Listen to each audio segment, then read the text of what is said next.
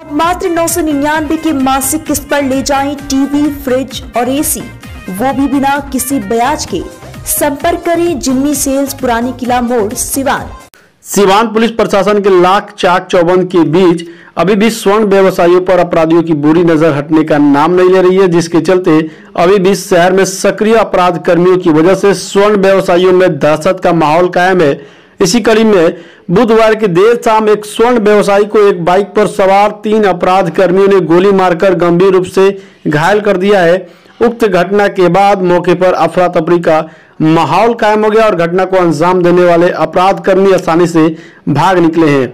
बाद में घायल स्वर्ण व्यवसायी को स्थानीय लोगों द्वारा प्राथमिक उपचार हेतु सिवान सदर अस्पताल में भर्ती कराया गया, जहाँ घायल स्वर्ण व्यवसायी का इलाज जारी है।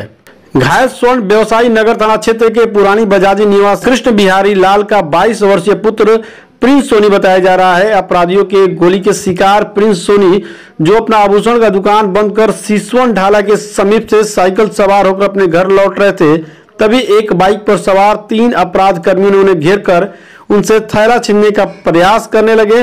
विरोध करने पर उनके दाहिने पैर में गोली मार दी, जिससे वो मूर्छित होकर गिर पड़ा। अपराधियों ने उनका थैला छीनकर फरार हो गया। घायल प्रिंस सोनी अभी बेहोशी की हालत में है जिस कारण अभी स्पष्ट रूप से पता नहीं चल पा रहा है कि उनके साथ लूट हुई है या नहीं। उधर सदर अस्पताल द्वारा भेजे गए ओडिस स्लिप के आधार पर नगर थाने के पुलिस पदाधिकारी सदर अस्पताल पहुंचकर घायल स्वर्ण व्यवसायी का फर्द बयान लेने में जुटी हुई है। फ़िलहाल पुलिस पूरे मामले की जाँच कर रही है और घायल स्वर्ण व्यवसायी का इलाज सिवान सदर अस्पताल में चल रहा है। पता चला है?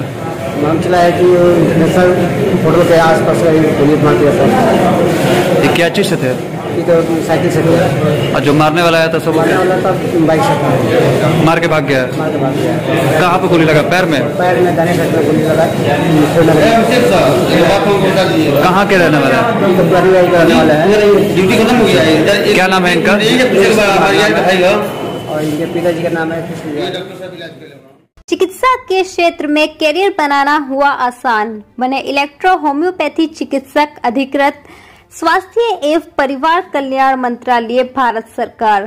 NIMS electro homoeopathy cancer research hospital साथ ही कैंसर जैसी जानलेवा बीमारी के इलाज कराने के लिए अब आपको बड़े शहरों में जाकर भटकना नहीं पड़ेगा, क्योंकि आपके अपने शहर सिवान में कैंसर का सफल इलाज होता है। जी हाँ डॉक्टर मोहम्मद इंतखाब परवेज के यहाँ हर्बल से निर्मित इलेक्ट्रो होम्योपैथी द्वारा कैंसर जैसी बड़ी और खतरनाक बीमारियों का सफल इलाज किया जाता है।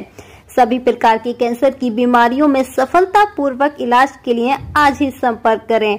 डॉक्टर मोहम्मद इंतखाब परवेज सिसवन ढाला लक्ष्मीपुर, सिवान। संपर्क नंबर है nine four seven double two five zero six double seven.